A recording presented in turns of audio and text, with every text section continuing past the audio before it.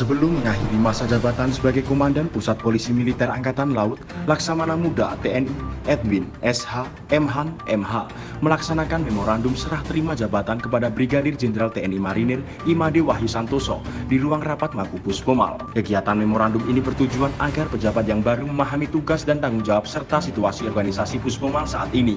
Kegiatan memorandum diakhiri dengan penandatanganan naskah memorandum yang dirangkai dengan penyerahan naskah memorandum oleh pejabat lama kepada pejabat baru.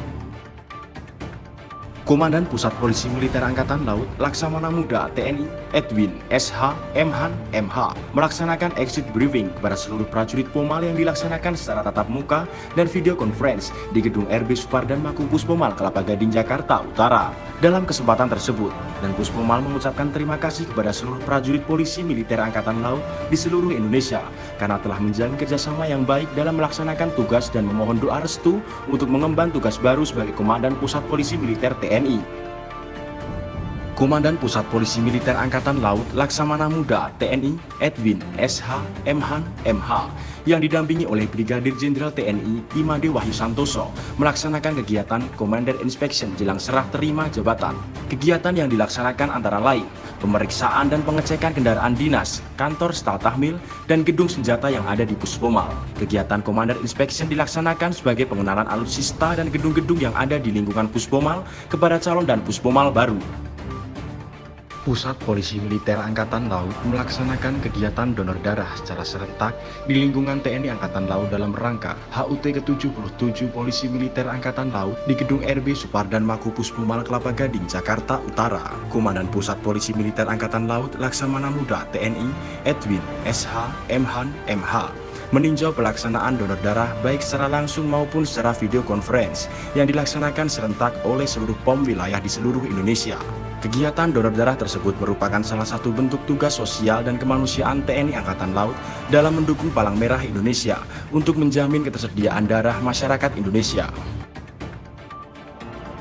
Pusat Polisi Militer Angkatan Laut melaksanakan sosialisasi tentang bahayanya penyalahgunaan narkoba bertempat di gedung RB Supardan Puspomal Kelapa Gading Jakarta Utara. Kegiatan sosialisasi pencegahan penyalahgunaan narkoba tersebut dilaksanakan dalam rangka menyambut HUT ke-77 Polisi Militer Angkatan Laut tahun 2023 dan diikuti oleh peserta sebanyak 1050 siswa atau siswi SD, SMP, dan SMK atau SMA dan juga dilaksanakan secara online pada masing-masing sekolah di wilayah Jakarta Utara di mana bertindak sebagai moderator pada sosialisasi narkoba yaitu Dr. Aisyah Dahlan. Dalam kesempatan tersebut tersebut dan Puspoma Laksamana Muda TNI Edwin SH Mhan MH menyampaikan agar para siswa-siswi dapat memanfaatkan dan mengimplementasikan segala arahan dan bimbingan yang disampaikan oleh narasumber diharapkan dapat membantu upaya pemerintah dalam memberantas peredaran dan penyalahgunaan narkoba.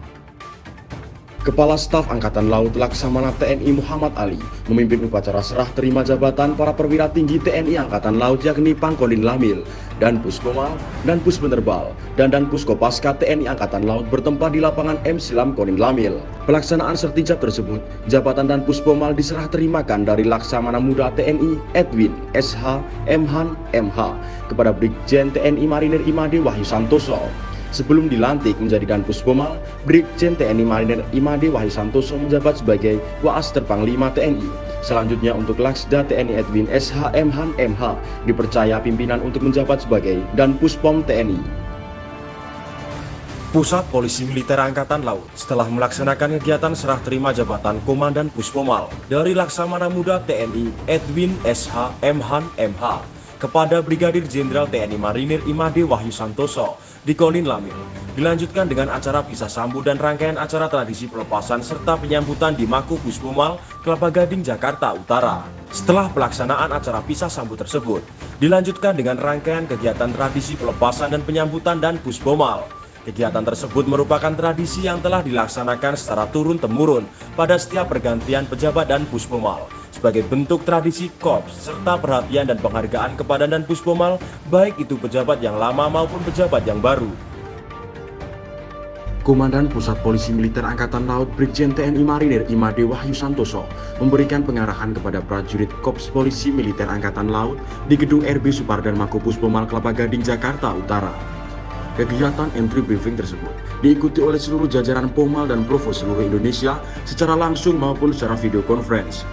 Pada kesempatan tersebut. Dan Puspomal berharap kepada seluruh prajurit dan PNS untuk senantiasa selalu bekerja sama dalam mengemban tugas dan fungsi kepolisian militer. Beliau juga menekankan agar jaga nama baik Korps dengan tidak melakukan pelanggaran sekecil apa pun.